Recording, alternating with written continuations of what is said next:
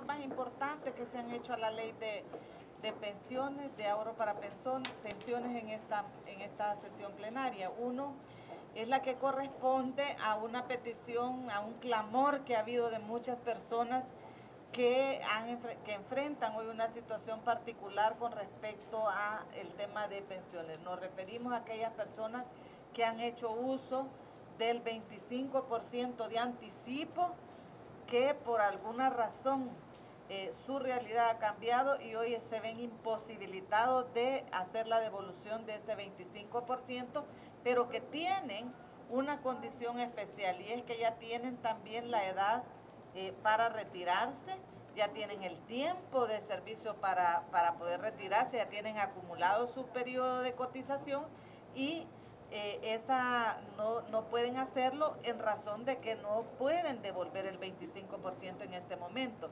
Eh, para ello, hoy la disposición es que la reforma habilita para que aquellas personas que hayan cumplido la edad de jubilación, que además tengan el periodo de jubilación, puedan acceder a, esta aún sin haber eh, procedido a la devolución del 25%. De acuerdo con datos del sistema financiero de nuestro país, ¿cuántas personas habrían solicitado este el anticipo y cuántas de esas podrían acceder a este beneficio, a esta reforma?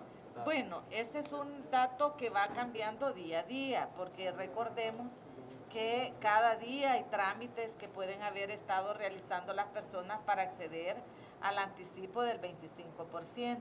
Pero también eh, cada día hay personas que cumplen literalmente la edad en la que pueden retirarse, que tienen la edad legal de, jubilación, ya sea para hombres de 60 o para mujeres de 55 años.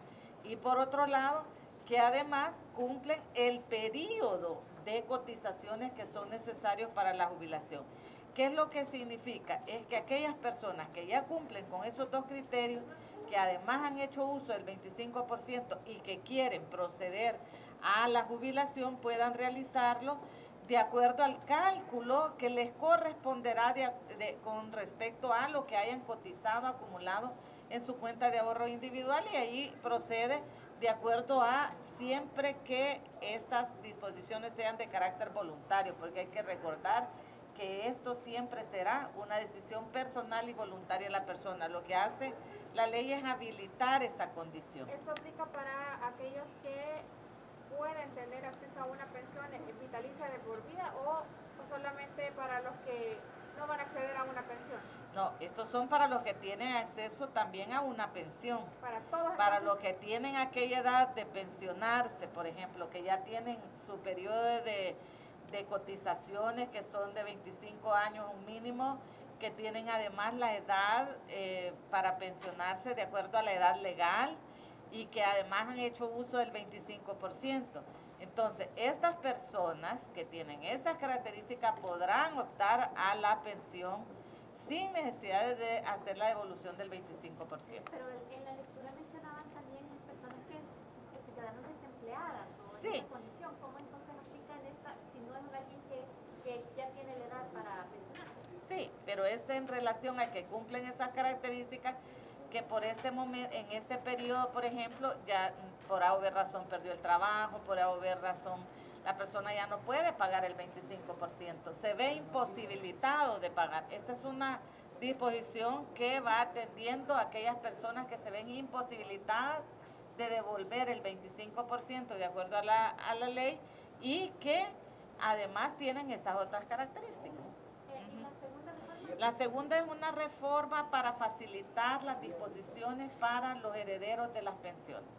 Hay aquí una condición importante porque se está incorporando disposiciones para que las personas puedan identificar con mayor claridad cuáles son eh, los herederos que puedan acceder a una pensión, eh, digamos, eh, de sobrevivencia aquellas personas de acuerdo a la notificación que haga también el, uso, el, el, afiliado y de acuerdo a ese registro se pueda entregar. Es decir, hay personas, por ejemplo, que, que les une un vínculo eh, sanguíneo, familiar, pero hay otros que son, por ejemplo, eh, personas que, cuyo vínculo es porque hicieron una adopción, porque tienen un vínculo de esa naturaleza. Entonces, facilita las condiciones y hay toda una serie de dispositivos que hay que revisarlos muy bien de la ley, pero que a, genera condiciones para que las personas puedan identificar con, con más facilidad y con mayor claridad el tema de los herederos.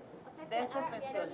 Amplia las, opciones, amplía las opciones en términos también para habilitar eh, pensiones de sobrevivencia. ¿Sean familiares o no? Pueden acceder también en este caso aquellas personas que quedan identificadas por el, eh, el, el beneficiario.